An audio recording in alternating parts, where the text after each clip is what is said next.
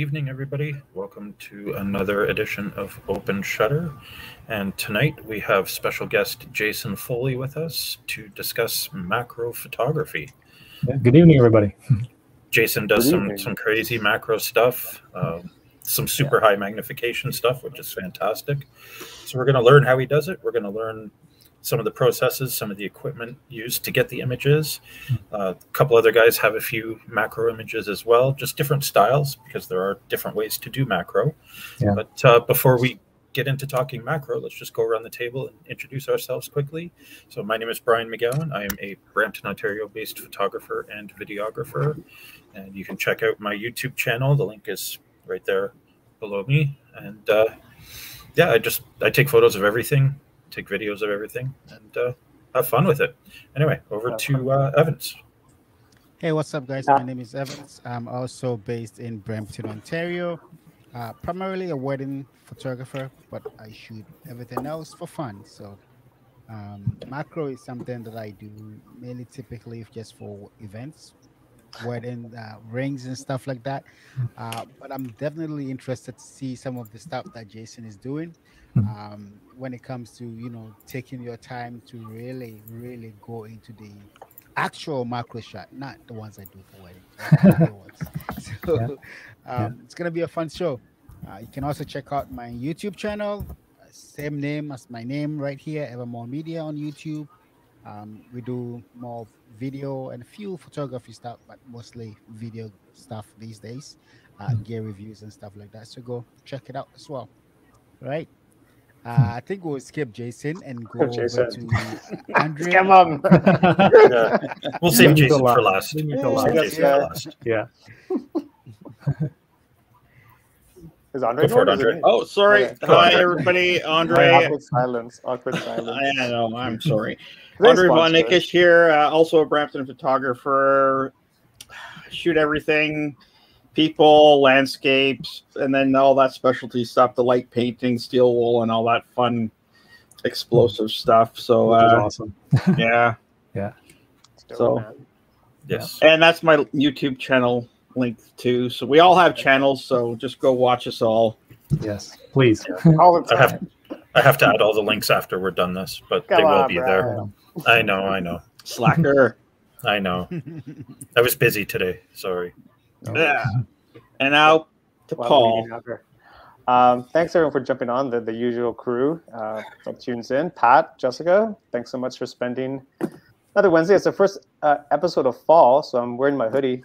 I'm missing my pumpkin spice latte, so that's unfortunate. But uh, yeah, first episode of fall. So what can I say? Lots of stuff going on. Big thanks to Jason uh, for doing this again. I told Jason yeah, sure. in the green room that I think Jason is probably one of the best presenters we've ever had because he just knows how to present. So I need to like talk to Jason after the show to actually understand how to like talk to the cameras. So yeah. um, he's really good. He's going to teach us all some really exciting stuff. And uh, like Andre said, if this is your first time watching this show, we all have YouTube channels. Um, I'm working all kinds of stuff. I just dropped a video yesterday. Bryan, well, I also, also want to say thank Bryan for leading the Halloween thing on the weekend. He did a really first great of job. five. First of five. Another one coming up this Saturday. So uh, if you haven't checked out that video, check it out. It's on my channel. Uh, Evans has a cameo. You can't see Evans, but he's in there, and Andre drops by. So uh, lots of fun. So more vlogs about that stuff coming up too. So lots of stuff can, going uh, on. I can drop a sample from from that workshop if you want. Should just yeah. quickly here so that people can see. A couple spots left. Teaser. Yeah, so, so they can see those who haven't signed up. They can see what they are missing. Yes, it's fun. It's go. fun. It's fun. Wow, look at yeah, that. Like stuff like that. Crazy. That, that, was something Laura and I set up in like two minutes after everybody left. Andre was, was there. Cool. That was right beside the parking was, lot, right? Yeah, I think Andre, you were working the smoke, right? Yes. Yeah. Yeah. And I, I grabbed a couple shots of Laura just next to the parking yeah. lot. So she's incredible. She's got incredible. Lots of photos yeah. in the forest. Yeah. Yeah, I think. Uh, so I think... the next one this weekend is Creepy Clown. The weekend yeah. after is Scarecrow. The yeah. weekend after that is a zombie and graffiti alley. I know Jess has signed up for that one. That. Yeah. And then the final one is actually with the cowboy instead of Laura. Yeah yeah hopefully and that's the... going to involve fireworks and pumpkins and all kinds of craziness yeah a little over the top yeah it'll be over the top for sure for the last one Hmm. We just gotta sign off on the rider first. I know a lot of people that are terrified of creepy clowns. Just for the record. Yeah. Oh, it's, it's, we're going to be walking around downtown Oakville with a creepy right clown. On. We're going to be on It's going to be a lot of fun. Sounds terrifying. The Beaver yeah. Monday morning. Yeah, I'm going to miss it. I Kim, agree. Kim Laura said, is amazing. She, yeah, Kim said she had a good time. Yeah. Kim, yeah, thanks, Kim. Kim. It was a lot of fun. Glad you came out. So more right, stuff anyway. coming down. Anyway, enough about that stuff. Yeah. Enough about that stuff. That housekeeping's done, and we'll end the show with another challenge for the community. Mm. Mm, awesome. Uh, I'm gonna I'm gonna issue another challenge. So it's oh, not good. a contest; it's just a challenge. Just a challenge, right? We want everybody to participate if possible. So yeah, mandatory. Anyway, that, that's awesome. enough about all that. Let's uh, let's find out about Jason now. Yeah. Um. So well, hello everybody. Uh, my name is Jason Foley. I'm uh, I'm a Brampton resident as well, and uh, when it comes to photography, I'm I'm purely an amateur. Um, but I dabble in a little bit of everything. So uh, I actually, my YouTube channel is called Critters to Cosmos, which um, I think really sums up uh, what I love about photography. I, I, photograph everything from the smallest possible things to uh, galaxies uh, in space, uh, which uh, was our previous show that I was on. So um, macro um, is something that I, is very near and dear to my heart. Um, I, I find that all types of macro, sorry, all types of photography really uh, are almost therapy for me, but macro especially. Um, and it's uh, you'll see later. I do a lot of insect photography. I love connecting with that little world. Um, it brings your pacing way way down, and it's it's something that I really enjoy. So um, yeah, uh, for a living, I, I, mainly play with spreadsheets, and I and I work in the transportation industry. So I couldn't be any further from photography, but uh, but it's certainly something that I love. Yeah, certainly something that I love. Yeah. Great. so I appreciate you having me on. Passion. No, we appreciate you coming on. Yeah. So yeah. Um, before before we get into techniques and everything, yeah, uh, why don't we talk about some of the gear? Uh, we sure. all know you need a camera. We yep. all know a macro lens is helpful. Yeah. But let's let's find out specifically what you use. Well, so so funny story, and this is a great uh, segue. So I don't know if you remember from the astrophotography show when I started off, I said that my journey began with pointing a nifty 50 at the sky and doing a mm-hmm. long exposure and taking a shot to see what happens. And you may recall that it turned out terribly, mm-hmm. right? Um, but that was my beginning of my journey, and it got better from there. So oddly enough, that's how I started in macro as well. Um, I had never held a macro uh, lens in my hand before. I had never taken a macro image. I happened to watch a YouTube video where a gentleman demonstrated what's called the reverse lens macro technique, um, where you can take a lens and literally, essentially, flip it in reverse and look through it. Um, I don't know if you've actually, if, you guys have tried that before, but um, it works amazingly well. And and this guy was so crude about it. He literally just held the lens up to the front of his camera body because obviously you couldn't affix it to the camera body. He literally held it in place like this and snapped the photo. And uh, so I went out on the deck. I tried the same thing and uh, got a surprisingly good video uh, uh image just, of a small insect just as an aside, there are actually adapters out there that, well, that allow you to reverse. That's the next thing. Yeah. go. I have one. So so, oh, so that's I just wanted to say that's where the journey began. Um, yep. There are adapters that you can do that are much less technical than this one, but I'm going to kind of jump to what this one is. Um, this one essentially goes on the on the front of your camera body this attaches to the front of your lens. Now, remember, everything's in reverse. So, sorry, this attaches to the rear of your lens. The front is now on the camera body, but this now allows full aperture control and focus control of the lens as well when it's in reverse. Um, ah. Because of this cable uh, that we have here, that essentially makes this a smart adapter. Um, there's dumb Just adapters. for reference, Jason, what does something yeah. like that cost? This here, I want to say this was a little over a hundred bucks when I got it. I bought it at Henry's. Um, I, I tried it initially without the um, with this type of adapter. The one limitation you have, as you know, when you shut your camera off, your camera returns back to a wide open aperture or your lens, um, depending on the camera, of course, and the lens. But yeah. the ones that I had would return to a wide open aperture. So to do this reverse lens technique, when I popped that lens off, well, it was wide open and my depth of field was razor thin. There, of course, is the trick where you can stop down. Um, I believe you hold your finger on the depth of field preview button as you take the lens off when the camera is off, and that will lock it in whatever aperture you are in. I didn't like doing that because my worry was I potentially could do something bad to my camera. So I don't typically recommend that technique, but a lot of people do it. Um, but I went with this. And this worked for quite a while. I was just using that nifty 50 in reverse and, and it, uh, it certainly satisfied me enough to give me that initial interest in macro. Um, but from there, I went to something definitely more dedicated.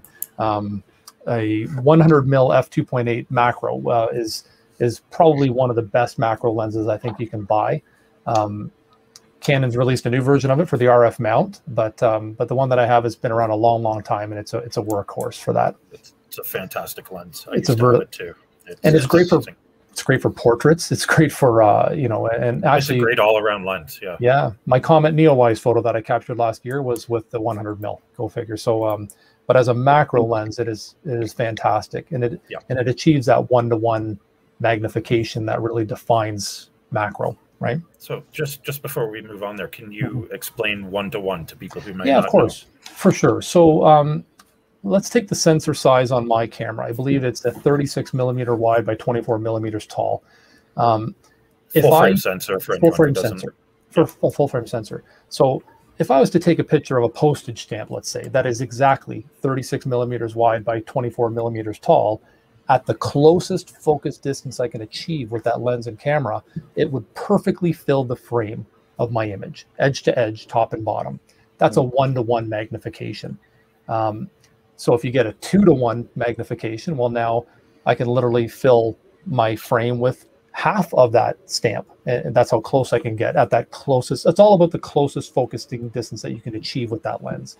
Um, the strongest lens that I have is actually something called the Canon MPE 65. That'll achieve a five to one magnification. And if you it's a crazy on, lens. it's a bonkers lens. And if you throw yep. on um, uh, some extension tubes, uh, you can, and also some teleconverters. I've actually gotten it down to a 10 to 1 magnification.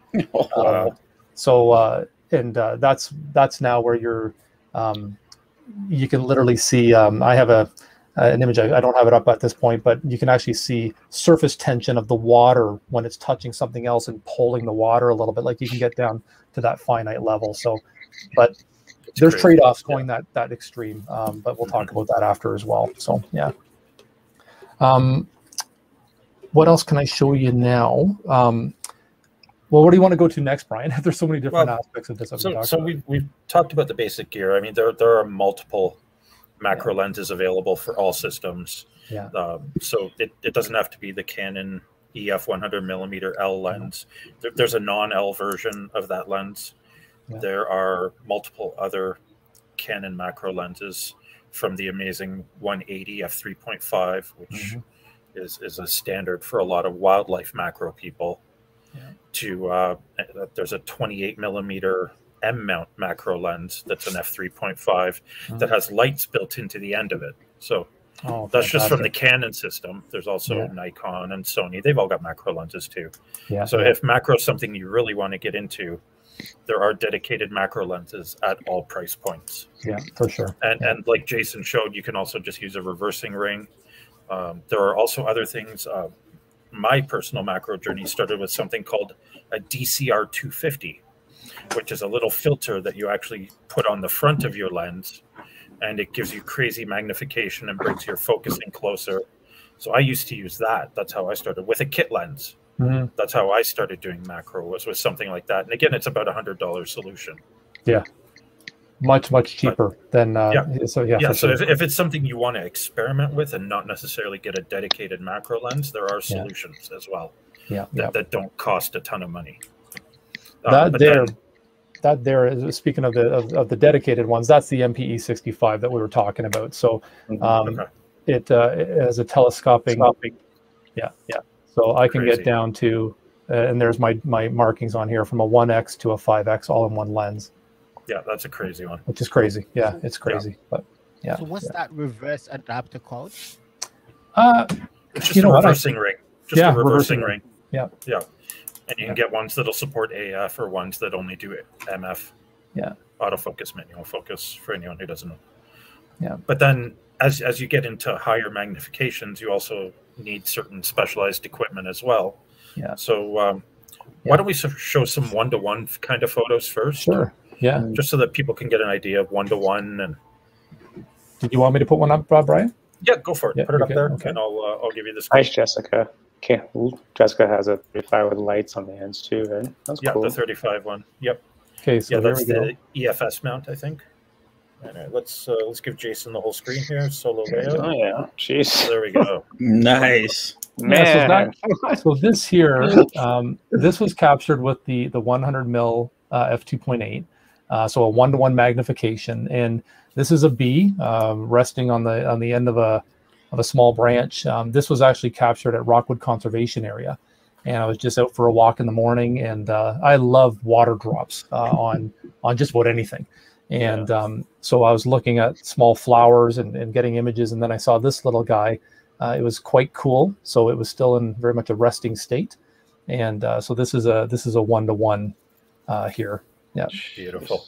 Yeah. Now, just uh, how close do you actually have to be to the subject with the lens? Um, you know what I mean. With that 100 mil, you can um, you can go quite far back if you want to, uh, but I can get down to I want to say it's for uh, is it four or five centimeters I can get from the subject um, with that mm-hmm. lens. So yeah, okay, in this in this case I here, I what, got 12 centimeters from the sensor.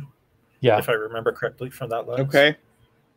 Yeah, my my uh, MPE 65, depending on the um, the magnification I'm using, I can get right down to just a, a few centimeters. Um, so That's it's uh, cool. uh, yeah, it's pretty crazy. But so this is this is one of my personal favorite, uh, and this was done with ambient light. There was no flash. Uh, that's why it's a little on the grainier side because um, had it on auto auto ISO, so it could adjust as need be, um, and just uh, fired off a few shots. So that's that's definitely one of my faves. Yeah. Man. Only photographers carry about noise. yeah. Only photographers carry. Yeah, I know, noise. I know. I'm caring uh, less and less about noise. Let me tell you. Um, yeah, so that's so that's a good example of a of a one to one. I can show one more actually really quick. I got one popped up here okay, while you're searching yeah. for yours. Yeah. Uh, again, it's a one to one with the 100 mil. I just really like the colors. Oh, beautiful. Yeah. That's a good one. Just a tiny little purple flower. Yeah. I sprayed some water on it. Usually when I'm when I was doing specific macro stuff, I actually had a little squirt bottle in my bag so that I could add water drops to anything. Yeah. Nice. Mm-hmm. Yeah. Yeah. Handy little thing to have. You can pick them up at the dollar store. Yeah. And you can add water drops to anything. I put that on everything. right on. Yeah. Got to do it. All right, Jason, go for it. Yeah, I got another one here. There yep. we go. So right. this here, mm. yeah, this is a damselfly. Um, cool. From end to end, I think that's probably no more than an inch long. Um, and uh, I absolutely love it because you can get right in there on the eyes. The detail that you get is, is pretty amazing. Wow. wow. Yeah. That's, yeah. That's awesome. Um, this is definitely one of the arguments to be made for a higher resolution camera. I mean, I, am not one to, I finally stopped um, chasing the features. You know, I finally grew up and I, I no longer chase uh, new camera features. But I have to say, the 45 megapixels on the R5 would be lovely um, from a macro mm-hmm. standpoint because of the just the leeway yes. it gives you from a cropping standpoint, right? Um, yeah. Not at all necessary, but well, it'd be kind of a nice to have. Yeah. Yeah. So that's uh, that was another one to one there. Yeah. Yeah. Nice. Now, if you want to jump uh, if I may, actually, I might as well just keep going with a couple of shots here, Bryan. There, yep. Um, to talk about equipment and the actual setup in the field. So one of the things I'll show you here, um, I'm going to turn this back on. Just jumping around a little bit. There we go. Okay. There we go. So, so, this this is a common setup that I would use. Um, Sorry, actually, this is this is one of the more extreme ones. Sorry, this one here. Uh, this is I have my backpack. well, I had two images. I had two images of my setup, and actually, I jumped to the wrong one. But this one here is what I would use for snowflakes. Um, oh, nice. And uh, so, what you're looking at here is, um, I have, um, I'll have a teleconverter. I believe I have a teleconverter on the front of that, plus three extension tubes, plus the MPE 65 extended extended to five times magnification and with the ring flash. So one of the big, big trade-offs of extreme macro here, like something like this, is that your light loss is significant with all of that distance. Um, you, you um, light, light is a precious commodity. So flash is an absolute must. Um, and when shooting something like a snowflake, and I, and I have to give the guy uh, a plug, of course. It's Don Komarechka, who I think is the master of snowflake photography. Yeah. Um, he uh, he he'll fire many many images. He'll do anything where I think 25 to 50 images of a snowflake, and he'll do it in as fast as the camera can capture them. So you have to have an external power source for that flash to keep up. So that's what you're seeing in that shot. So when I do snowflake photography, I'll have all of that in my hand, and I will be resting my left hand kind of on the side of the, the table or wherever I'm I'm trying to photograph the snowflakes. The um, my my thumb and my index finger will be holding the end of that ring flash. And then of course i'm holding the camera against my face with the other hand and moving slightly back and forth as i'm firing burst images just to try to get all the um, the focal planes throughout that snowflake which you can imagine how how, how small that is it's a good um, thing us Canadians live in igloos, so it's cold enough to have snowflakes. Right. Oh, yeah. yeah. exactly.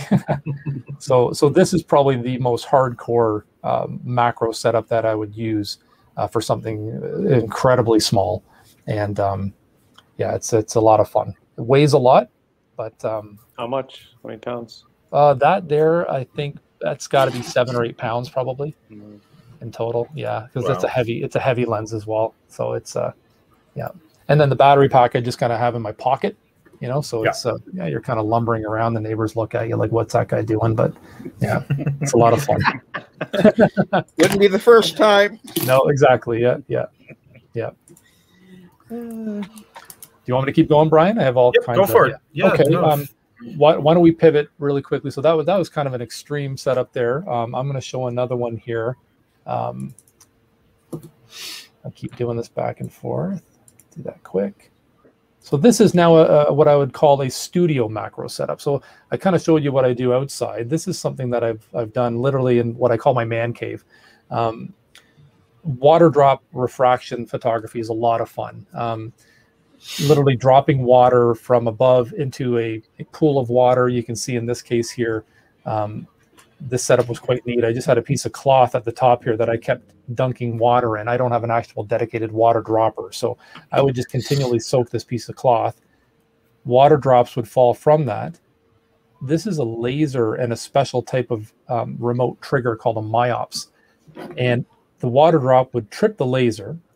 And the time that it took to fall to the water, it would trigger the flash and trigger the shutter. This, of course, is an external flash. And I used um, forgive me, I'm, I'm forgetting the name Snoot. of this. Thank Snoot. you. Yeah. Uh, to try to direct the light a certain way.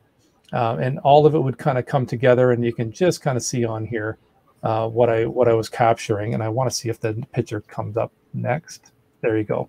That's There's that's one. the type of thing that um, I was able to capture that.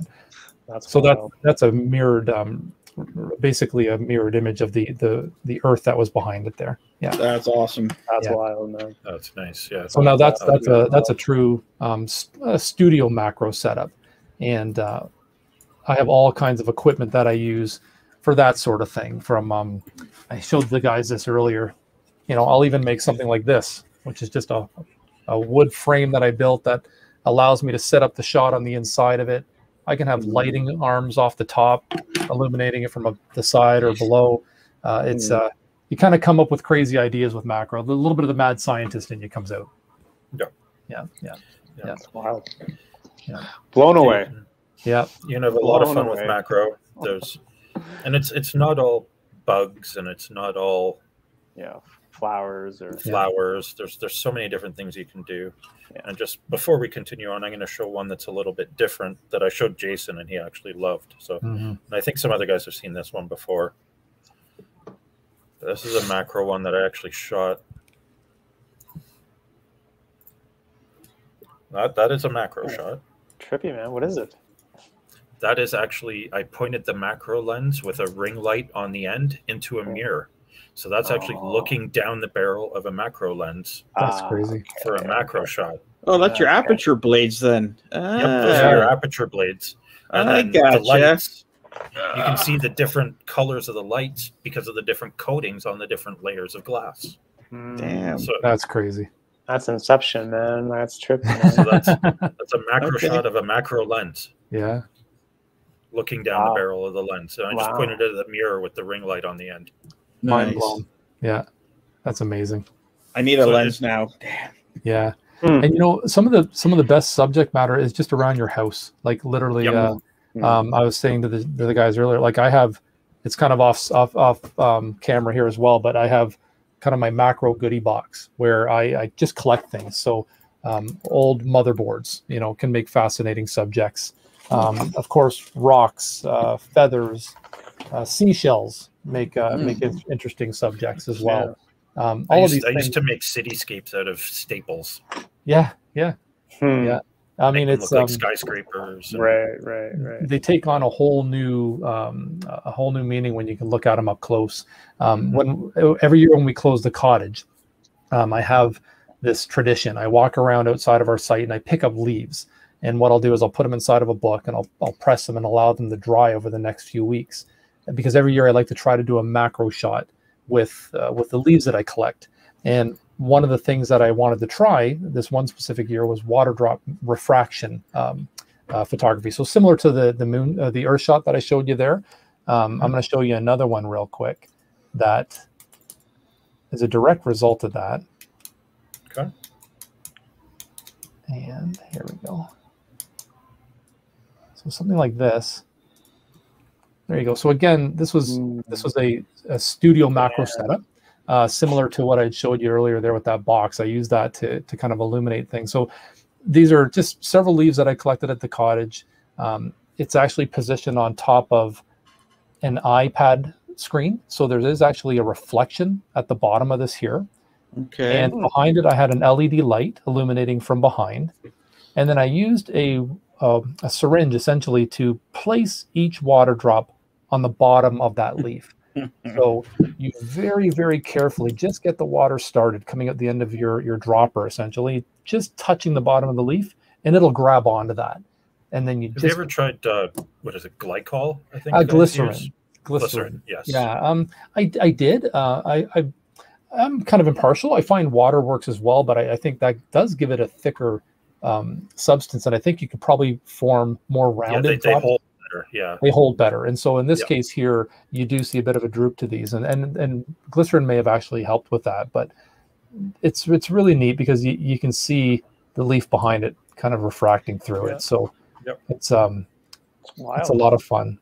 And and this is I mentioned earlier about focus stacking. So I'm I'm kind of going all over the map here a little bit today, but one of the tech, one of the drawbacks, I should say, of, of macro is that you typically have a very uh, thin depth of field, and the stronger the magnification you go. So, like on that that MPE 65, when I get to a five times magnification, it's it's literally razor thin. Focus stacking is the only way I can create an image with that lens. A, a single image would be useless.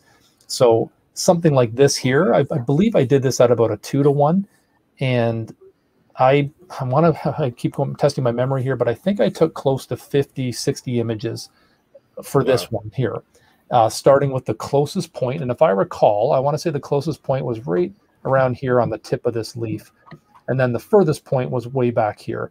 Now that was only a matter of maybe a couple of centimeters, but it took me, like I said, 60 to 70 shots to get everything in focus from front to back in individual frames and then I took that into Photoshop.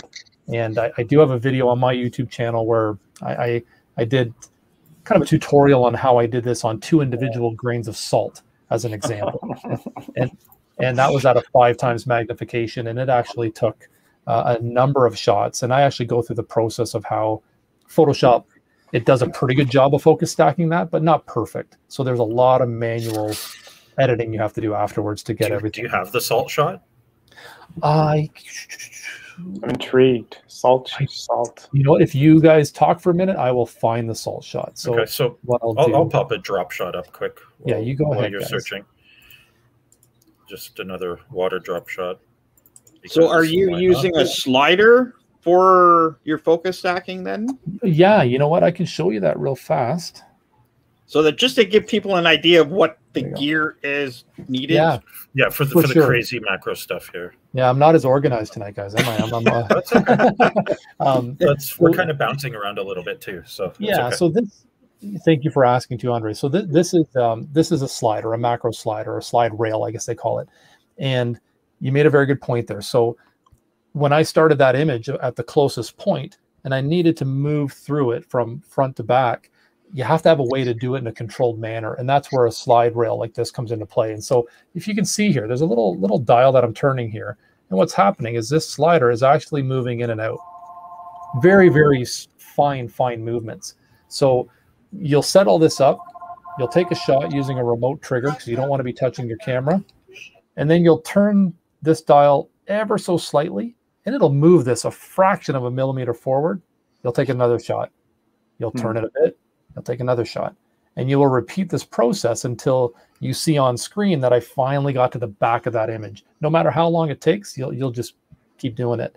So that's why I think the long, the biggest one I ever did was over hundred images, which is which is kind of bonkers. And uh, um, that one I believe I'll be able to show you too. I do have that one. So, um, but that's a focusing rail.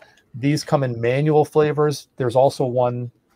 Can't think of the name of the company. I, I don't own it, but it's an auto. It's a it's a, a motorized one that I know Don Komarechka uses it in his case because some of his, I believe, he will do thousands of images in certain cases when he gets down to the really microscopic level, mm-hmm. and that takes all the kind of the the wiggle out of it. It does it perfectly. So, so and if you happen to use an Oh, go ahead, Evans. I'm assuming that with the way you're talking about the, the focus with the rail, um, you are manually focusing, right?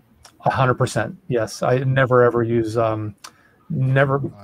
now you raise a, a, good question though. I, in the studio, I will always use manual focus.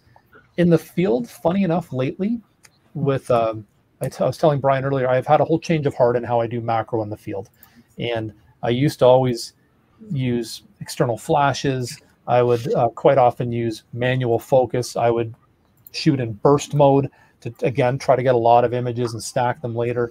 This summer, I, I kind of sh- shifted gears a little bit. I don't use any external flash. I will use uh, just ambient light, auto ISO, so that the camera can flex with uh, with what I'm doing. And uh, and actually, I've started using autofocus. And I think the only time I would I would be supportive of that, I think, is if you have a dedicated macro lens with a really fast focusing system. And the 100 mil f2.8 is actually a really fast focusing lens. And especially if you lock it, yeah, use that and, focus lock. Yes, and, and, and, restrict its movement a bit, right, to just yeah. closer range. And um, it's actually been doing a great job. And so I've kind of again slowed my pace down a little bit. I'm not doing the burst shots anymore. Focus on the eye of the insect or whatever it is that I'm shooting, and uh, and the autofocus has actually been keeping up. So there's two two schools of thought on that one for sure. Cool. Okay, so you can keep. I'm going to try to find that. Uh, okay, so, salt while you're talking there. Go ahead. Yeah, yeah I'll, I'll pop another image up just because yeah. I know people like to see images. So yeah. there we go. Hmm. That's oh, uh, oh, wow. just walking around a local park, handheld macro shot. That's uh, I, am not much of a studio macro guy. I, I, prefer the run and gun style of macro. Mm. That's hmm. just what I like to do. I that's have done spider? studio macro too, but yeah, that's spider. Jesus, what? yeah, that's that's with that Canon lens, and then mm. uh, if we go this way, three, mm, three did, water so drops. Did, did you place the? Did you place the water? Those were actually there. It was wow. after. It was in the. Really? They, they just landed like that. Really? Yep. And then this is from a pine tree. Mm. Again, nice. just walking around with a macro lens, looking for little things. And then I, I love finding textures with macro as yeah. well. Yeah. So old Texture's stuff like that and that, and that, and then cactus. Top down on a cactus. Hmm. Cool. Just lit it. Interesting. I actually I used to go to uh, Centennial Park Conservatory a lot uh, back before mm. COVID, and it was mm-hmm. a great place to spend an afternoon shooting macro mm. stuff. Yeah. Between the bugs, you don't you don't have to worry about wind because it's indoors. You don't have to worry yeah. about rain. So even yeah. in January when it's minus 30 outside, you can go shoot macro all day and be comfortable. Mm, cool. And really come up with some cool abstract kind of stuff. Funny thing is, I was, I was just looking at that lens this afternoon. The 100? The 100 f2.8 macro. The EF, the L version, or the yeah, the EF. The, L version. the EF L version, yeah, the L version has IS. The non-L version doesn't have IS. Yeah, so that, that's something to consider as well. Yeah. Okay, I did find it, Bryan. You did? Okay. I did. I did. So here I will go for it. Let's, so uh, first, first off, yeah, I'm going to show talk you about so, the process. okay, so two grains of salt, right? Um, this here, I don't know if you can see it. This is an LED flashlight. Okay, so there's my hand, and there's there's the size of the LED flashlight, just tiny little thing. And I did not use this for illumination of any kind. I I wanted what I was looking for was an interesting reflective surface to photograph these two grains of salt on, right? So I kind of liked the lens of this because the way I had my my setup, I had the camera coming at it like this. I had a um, external flash pointing at it from the opposite side, and my theory was that if this flash kind of entered this lens, it might bounce around on the reflective surface inside, creating kind of a, a, a lighting from below the grains of salt. This is my mad scientist theory, anyways. Um, so that was my setup. This thing balancing on its end, pair of tweezers. I placed two grains of salt on the top of this thing and had a remotely triggered flash firing towards me this way. So this is the shot here. Oh. That's cool. So, Jeez, so that ice I mean, looks like cube. ice cubes. Looks like yep. ice cubes, right? Yeah. But yeah, that is too. Gonna, that that really looks like ice cubes. If you didn't say yeah. it was grains yes. of salt, I would have thought it was ice cubes. And that's actually how when I shared this to social media, that's actually how I teed it up. I said, you know, um, ice cubes on a silver platter? No, uh, it's actually two grains of salt, and um, and then I had so many yeah, and I had so many questions. Yeah, uh, like the texturing in the flashlight, even because it's kind of yeah. scratched up the lens.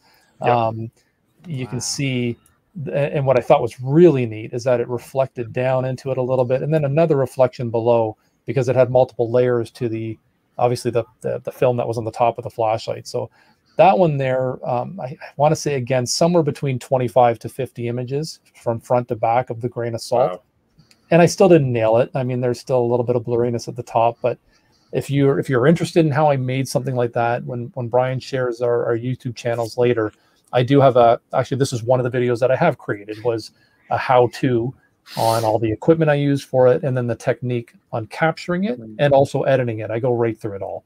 So um, nice. um, yeah, so Solid. it's an interesting it's an interesting one, and yeah, it's what about a forty minute video? It right? is, and it I think I lose I think I lose people pretty early on, but but the dedicated ones they stick around. Yeah. Oh yeah. Yeah, yeah for sure. That's it's man, a good tutorial for sure. Yeah. Like, blown away, man. Blown That's away. That one.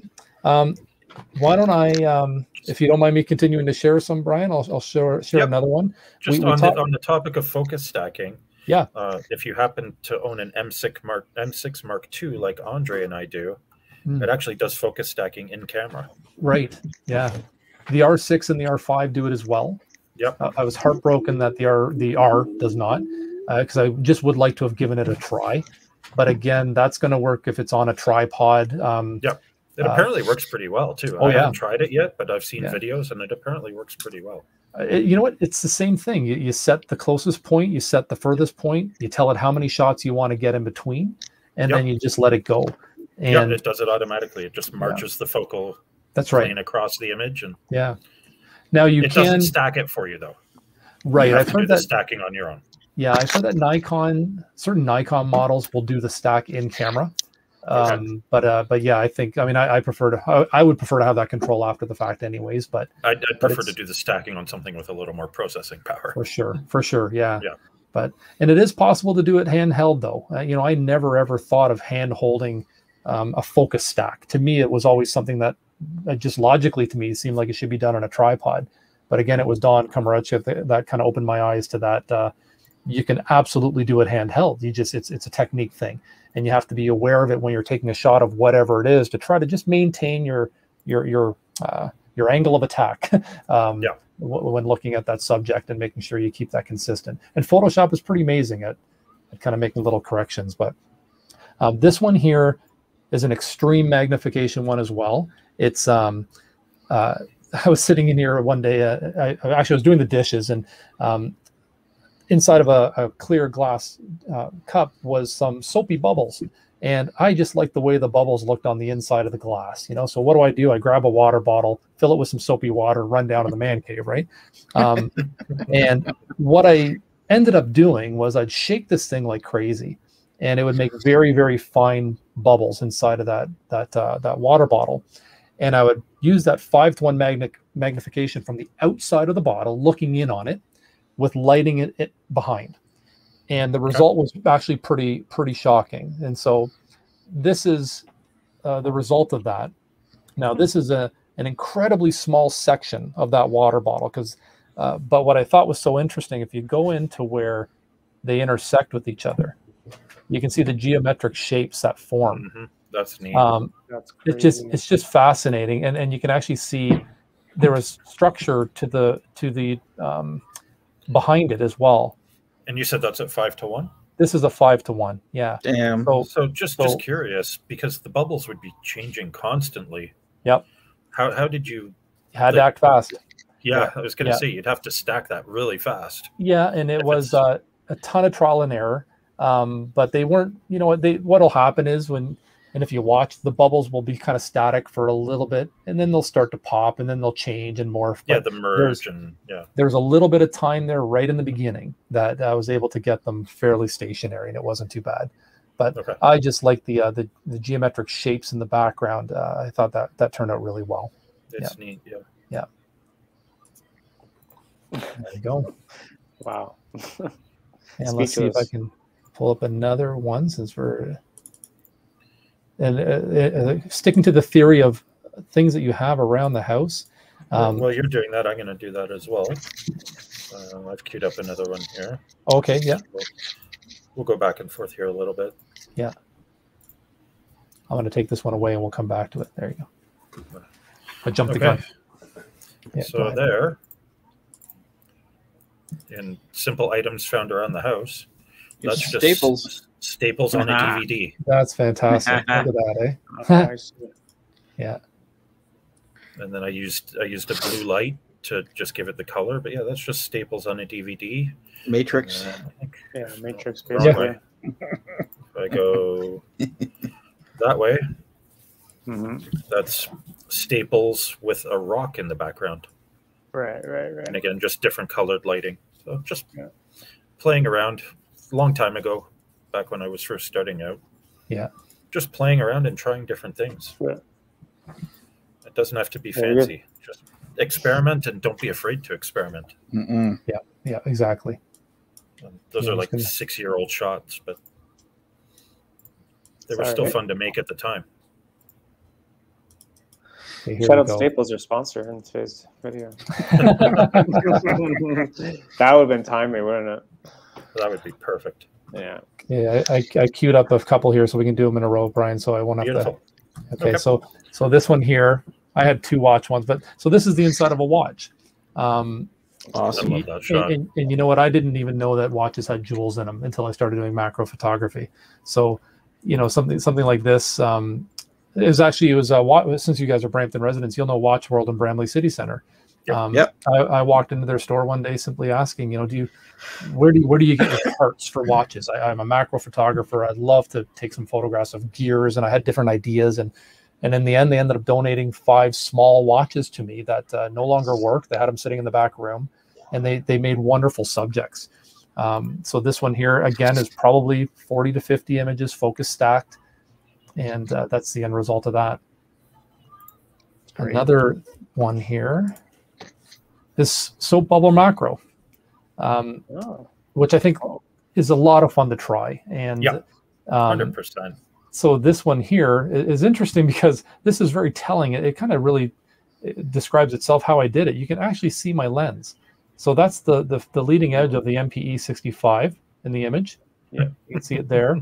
Yep. This was shot on again an iPad screen, and I had two diffused uh, external flashes, kind of leaning against each other over top of the iPad, and so what I would do is I would kind of lean underneath the two diffused flashes with a straw that I had just dipped into soapy water.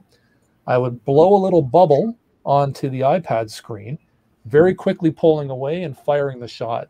Because what I was finding is that this beautiful patterning that would happen in the bubble would all drop to the bottom.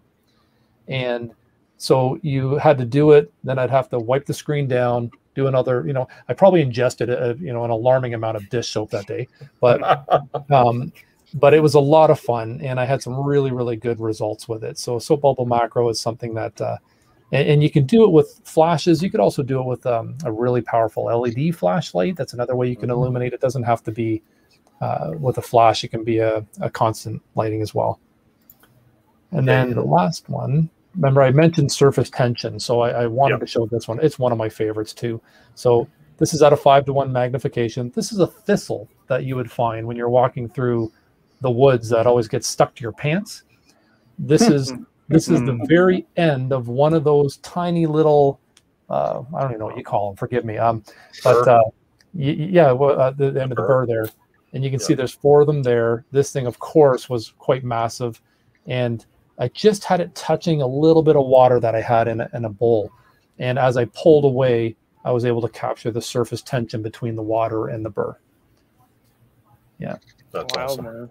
Yeah. so that. you can, again, you're seeing things that the human eye can't see, uh, right? And that's what I, I, find really fascinating about macro. It just um, takes you into a new world, especially when it comes to insects. You get to get to see how they go about their day. Yeah. There you go. So that's, that's the ones great. that I wanted to share, guys. Um, great, yeah, it's uh, I don't know what else I can say about it. Where do you get, where do you get your ideas from? Where you just oh, think of them? Oh, they just come to mind. Yeah, you know what? Right? Yeah, when I'm walking around, if I see something, um, insects are a funny thing, right?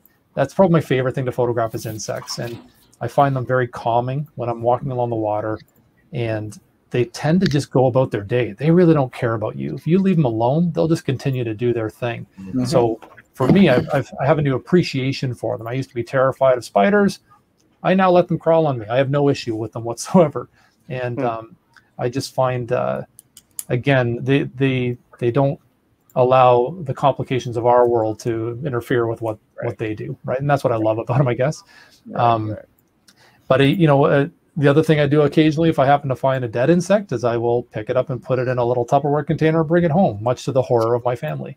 Um, they must be used to it by now. They, yeah, matter of fact, I, I, have a I have a bumblebee that I'm going to photograph later, sitting right up there. So um, beautiful. Yeah, and, awesome. I, and I I find them in um, uh, you know our shed in the spring and stuff like that. I mean, uh, anything to get the photo. yeah. Awesome. Yeah. Great. Yeah. That's great. Yeah. Jeez. So that's uh, so the only other thing I can touch on is um, maybe software. Um, Photoshop, we've mentioned Photoshop many times for focus stacking. There's dedicated programs as well. There's one called um, Helicon Focus, which I've also mm-hmm. used. And what I like about it, when you're working with the individual layers, it has a really interesting UI where it'll actually, if I click on a spot that's blurry, will reference the frame where it was sharp type of thing and allow me to correct it. It, it. it's a little more intuitive than what Photoshop is. They both have their place, but hmm. um, it, it's an interesting program as well. And in that YouTube video that I did on the, the grains of salt, I believe I used both. I did a quick demo of Photoshop and on how you would do it in Helicon Focus. So yeah, so you can see those as well. Do you have a preference for either program? They both seem to have their uses. Yeah, um, yeah Photoshop I think Photoshop probably yields the better result. I, I even though it's a lot more tedious because the way I do it is I, I bring all the images in as layers. I will do a focus. Sorry, first I'll duplicate the layers. Yeah. I will stack one of the duplicated sets to give me a what Photoshop perceives as the ideal focus stacked image. Yep. And then I will reference back to all the other layers from that uh, the other duplicate set and look for the parts where Photoshop missed. And that's the part that takes a lot of time because you're cycling back and forth from layer to layer just to say, hey, could I have done any better than Photoshop? And and yeah, in some cases you could, and you'll mask out um, the bad spot and you'll bring in the, in the good detail. So, but it can take hours. It, it's uh, the longest one I did, like I said, was I believe close to about eight hours of processing in total. Yeah. Damn. Yeah. yeah that's so, that is that is commitment. crazy patience. Uh, yeah. But, I, but you know what? That's what I like about it. I, I, I really enjoy that the technical side of capturing it and also just the the technique of the edit and the final result, of course. Yeah. Yeah. I love it. Mm-hmm. I love the passion. and you know what's interesting is uh, it's there's a lot of parallels to some of the other photography that we do too, right? There's a lot of stacking in astrophotography, which we talked mm-hmm. about before. Um, so it it all it all kind of comes together. yeah, yeah, I've only ever done one focus stack, and it just it wasn't for me. No, it, yeah. it's not my thing. Not yeah. my thing at all. I prefer I like I don't mind the shallow depth of field. Like I had that black and white photo on the screen there. I don't mind that shallow depth of field and the more abstract look. That's just yeah. again, it's it's a personal taste thing. That's neither one's right or wrong. Yeah, and it's it's it has a lot of applications too, right? Like um, and this is completely going off topic because it's not a macro thing, but it is about focus stacking. It's very useful in landscape photography uh, mm-hmm. with digital, where if you if you want to get that foreground interest of some rocks that's immediately in front of you with a with a 16 mil lens, but I want to get that background and focus as well it's virtually impossible to do unless you you push it to f22 or something but then you introduce diffraction and it, it you, you might not get the sharpness so it gives you that ability to to nail the the sharpest aperture yeah. of your lens f8 f9 let's say and do uh, and, I, and I would typically focus on three points the rocks in front of me middle ground and then the horizon and then yep. you, you'll you blend the three and yeah so that was a little aside there but focus stacking has its many yeah, oh, focus stacking many definitely benefits. has mm-hmm. applications yeah yeah Hmm. Yeah, I'm trying to think if there's anything else I could show you here. I know in one of my photos we had the ring flash, so of course, you know, um, so a little equipment tip, I guess. Uh, if you're a Canon shooter, Canon certainly sells ring flashes like that, probably somewhere close to 500 bucks. I if I had to guess. Um, I, I, I bought a Meike, I think it's called. Yeah, I have one of those. It cost me forty dollars. Right, Yongnuo yeah. is a fraction of the price. Yeah. So that's another brand that I try to recommend anytime I can. Um, I have a couple of their speed lights. I think the speed lights were 50 or 60 bucks. And yeah, um, good. Go yeah, they're, they're, good. they're fantastic. There's, there's great companies out there. Yeah. Yeah. The, the, the, only reason why personally I would recommend the Godox over the Yongnuo, mm. it's um, if you change systems, you your Godox right. will will move on to your new system. Yeah, mm. the Godox, all the Godox stuff is integrated, so every Godox flash works with the with their triggers and mm. yeah, just, yeah. For, for, the price point, Yongnuo is pretty good. It's uh, they're oh, almost yeah. they're almost burner flashes. Yeah, you know, that's you know that's what I started learning flash on was an yeah, Yongnuo which flash, is, which so. is kind of crazy. Um, yeah. The other thing I always like to point out is this little thing here. I mean, you start to get really crafty when you're doing macro because you've only got two hands and you you need to hold stuff. Uh, this is, I believe they call this a third hand tool, and um, very, very helpful in, in keeping things stationary. So I will quite often set up a shot. I've actually had this completely submerged in water, um, holding something underwater that arched out of the water. So great, great tool. Um, just then, little alligator clamps on the end there? Yep. Yep. Yep. yep. Okay. And now, actually, I'll show you a little more close up here. Yeah. Yeah. So that's all that is there. If you can see them. Yeah and they're very they articulate. They're they're really flexible. Okay. But when you go as crazy as I did, my last thing I'll show, if I can get it out of here without, I go. I went with something like that. Oh geez. So this is this is a. Oh, it's um, painful, a, man. It's like a.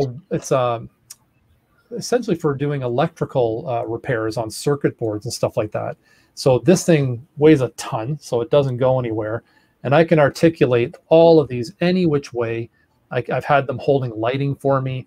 I've had them holding different objects, and uh, so that that's again kind of an extreme way of doing it, but you just come up with all kinds of different stuff. Yeah. Have yeah. um, have you ever tried doing cityscapes using circuit boards? Um, no. You know what? So you keep talking for one second. I want to show one other yeah. thing while you're so talking. One of the things you can do, um, and I don't have. Take this off full screen yeah, I'll, I'll, take Jason off full screen here. Yeah. Oh, sorry. So one yeah, of the yeah. things that you can do that I, I don't have any examples to show right now, but you can actually take an old circuit board and because there's so many different shapes of components and stuff, if you shoot down it, it almost looks like a cityscape and you spray a little spray mm. on deodorant in it to add some atmosphere yeah. and light it from the back and it can actually look like a futuristic cityscape kind of thing Jeez, with the circuit board. I do that have sounds, a, that sounds dope. I, I, have a couple of circuit shots. I'm going to try to find them. I, I, I, I, would like to see this now. I have an old computer I can take apart. Hey, yeah. So, so yeah, if you if you try it that way, you can you light it from the back with colored light. You can make it look like a cityscape, like a futuristic cityscape. Yeah. It's a really neat thing you can do with an old circuit board and a macro lens. And like I said, you just take a bit of the spray deodorant and you just spray it on there, and it gives kind of this misty atmosphere. And you know how some of the old boards have the slats in the back for air ventilation? You have the hmm. light coming through that, and it just mm, awesome atmosphere to the whole thing. Damn. Very yeah, I found. I, I see. I can I can act pretty fast. I found three shots of circuit boards that All I did right. that were macro. So let's let now. I never ever thought of the spray deodorant though. So I, I, am going ideas for you. Ideas I love it. I love it. Go. So so here we go. So there we go. So again, um, this I is probably at about all day long. So yeah, they're fascinating. Well.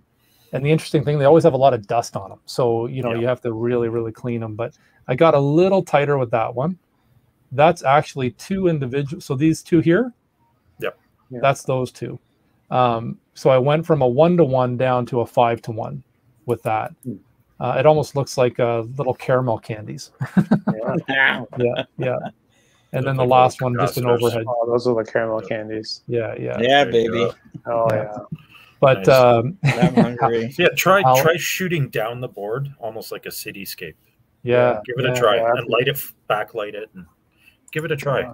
I will. You've, you've, got the setup to do it all. So yeah, yeah. Never even thought of yeah. You know what? That's taking it to another level, Bryan. That's there good. Go. Yeah. Well, yeah, spray on deodorant solves everything. That's right. That's right. Yep. Sorry. Axe. yeah, that's right. Got a response for Axe. Well, whatever your, your brand of choice is. Not just for, there you not go. just for armpits. There you go. Yeah. Yeah, so that's. Um, I mean, I think that's a lot of my goodies. Uh, I'm sure I'm le- leaving out a lot of good stuff, but it's uh, it's a lot of fun that anybody can do. It's very accessible uh, when it comes to subject matter. Just look around your house; you'd be shocked at what you've got, and it doesn't need to be expensive. Um, just that reverse the fast prime in front of you. You can just yeah. hold the fast prime in front. Yeah, that's and, right. And yeah. do it that way to get started. Yeah, just try that reverse lens thing. It's it's a hoot, and yep. uh, and and literally, like I said, that that guy that I saw do it in that YouTube video, he held the bot the the body and the lens together just with his hands yep. just to get one shot. And there, there's actually was, a technique called free lensing where you actually take the lens off your camera and you can actually create these sliver thin depth of field images with right. lots of blur on them. And yeah. yeah you do that with a fast prime and it's called free lensing right on yeah. You just have to clean your sensor a little more when you do that but right. Yeah. Yeah for sure. Yeah it's an actual thing. So anyway um, thank you jason yeah, you're welcome, guys. Yeah. yeah. Uh, any other questions well, at all? We're all here. What? What? Uh, yeah. What, does anybody have, have any, any, questions for Jason? Do you have any goals for this issue year? The challenge. Do you have any goals uh, for the uh, rest well, of the year? Yeah, um, I've, I've, gone in a completely different direction. Uh, so I, we mentioned earlier that I've started to shoot film, um, which you know I've had this interest for quite a while, and uh, um, met some great people online. Uh, I'm actually going to give a shout out to Jim because I believe he's watching, and uh, he's been an, an incredible uh, support for me hi, on this. Hi, Jim. on this uh, on this new journey that I, am embarking on, which is learning how to shoot film, develop film, uh, do it all in my own man cave here. And my my first purchase was a 1949 Zeiss Icon Nettar, which actually right. I'm terrible at this, guys. I should have all this ready. No worries. Well, you didn't know we were going to start talking about the film. This is it right here. So, as you can see, folds out. Very Nice. Very, very cool camera. Um, all manual. Up until I was, you know, taught how to properly focus with this thing, I was purely focusing by walking off the number of paces to the, the subject matter and kind of mm. dialing it in on here. I mean, it's a whole different thing, but the the pacing, the analog process, it is incredibly refreshing. And it's for the first time in years I've actually kind of parked the digital camera for a while, I, I which shocks me.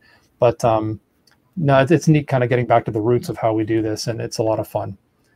Yeah. Nice. So my goal for this year is to take an image with a film camera, uh, develop it myself, and uh, and do it from end to end. That that's my my personal goal, okay. and have it be a banger.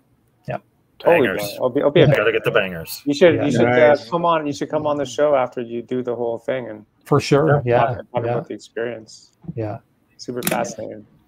Yeah. Excellent. I didn't do as much astrophotography this year, so that is one more goal. I'm, i would like to try to get one more really good one in before we close up the cottage of either uh, Andromeda or Orion again, with what I've learned since last year, because uh, it's just it's a constant learning process, and I'm now oh I could try that something a little bit differently and get a better result. So definitely gonna have another go at that too. But but what about the rest of you? What, what's everyone's uh, what's, well, I'm gonna what's on your plate? What's that? You want to sell your camera? oh man. Uh, Is that what you said? You want to sell your camera? Yeah, I'm going to sell my camera at this okay. point. So. no, don't do that. I'm joking. Uh, short term, I'm just looking forward to all the workshops coming up. Yeah, we're just trying to do like a lot of workshops. Um, you know, just trying to take advantage of the time that we have and like yeah. the season, Halloween, everything. Theater's so. coming back. Theater's coming back.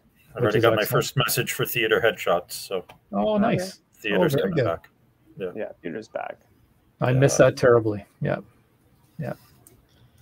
Well, our, anyway, our... let's uh, let's quickly issue the challenge. Okay. Yeah. It, it's it's a very very simple challenge. We'll share it on the Open Shutter Instagram.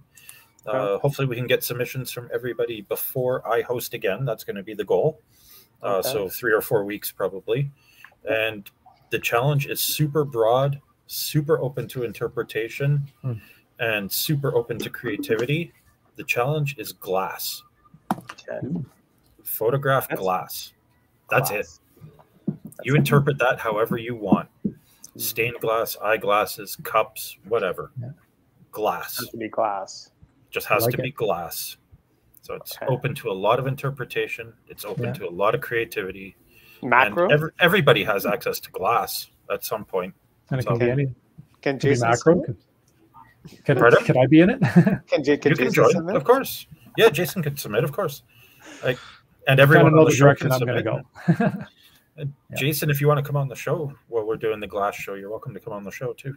For sure. Let's talk about that after. Yeah, I'd like to know when that is. Yeah. Okay. Yeah. So people yeah, are going to email you, Bryan? Yeah, we'll we'll set it up on the Open Shutter Instagram okay. account. Uh, We'll set up a way to get the pictures to me so that we can show them on the show. Yeah. And we just want to okay. see what everybody can do with glass. It's just a creative challenge. So be Sweet. as absolutely creative as you want to be. No yeah. prizes. No prizes. Just just a challenge. Can I can I market budget was bragging rights? They get to have your Pardon camera. You, you have gonna, glass I'm in your gonna, camera. Yeah. I'm gonna shoot macro glass and see what I get. Yeah, do. There you go. Whatever, I already I already have 17 ideas. So. Yeah. curious to see what people IG. come up with. Yeah. Refraction, refraction, all kinds of different things you can do with glass. So yeah, really curious right. to see. Anyway, we're over time here, so let's uh, wrap this up here. Uh, Paul, final thoughts. Yeah, uh, thanks, Jason, for uh, spending the time. Mm-hmm. Uh, once again, you crushed it, and uh, there's so much to learn. It's great. It's just great to have different people on different uh, skill sets and experiences. So huge thank you. Hopefully you come back soon. Hopefully sometime sure. this year. Yeah, talk about sure. the film stuff. I think be super interesting. And uh, thanks everyone for jumping on. Hope you enjoyed this show, and uh, we'll see you next week. For something. Andre, final thoughts. Again, uh, Jason, thanks for coming on, spending uh, your Wednesday night with us. That's awesome, and it just makes me want to go buy a lens and go play. just something else. Yeah, I can always help people spend their own money. Yes, well, thank no, you. Yeah. yeah. no, I really, I just, yes, I just want to, you know, get a lens and just go. I have so many ideas now that it's yeah. just like, oh no, I have so many ideas already, and it's like. EF-M yeah. 28 yeah. millimeters, only around 400 bucks. Uh, okay. Okay. Evans, final thoughts from you? Yeah, I think uh, it was a great show. Um, it's you know, it's got me thinking about exactly macro experiences hmm.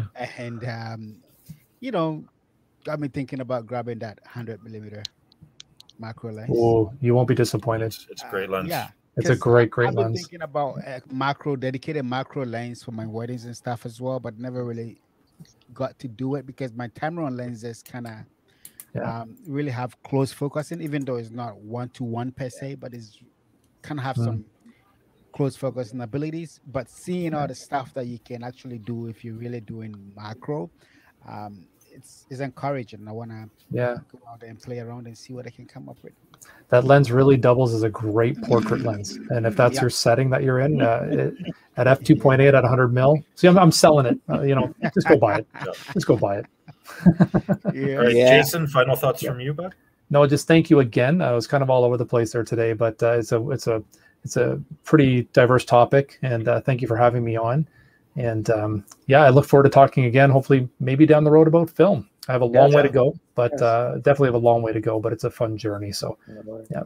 And what's your IG, Jason, for for all the people? Uh, JD Foley Photography. Uh, Bryan, and I'm I sure have put in the thing. Yeah, yeah, I have so a website as thank well. Thank you everybody for yep, yep. for watching. We appreciate you all coming out. I know we're over time here, so wrap this up here. Make sure you subscribe to everybody. Make sure you like everybody's channels and Instagrams, and uh, I'll put all the links below so that when this video is live on YouTube, you can find everybody's links there. Thank you very much for watching. Have a good night, everybody. Take care. Goodbye. See ya. Peace. See ya.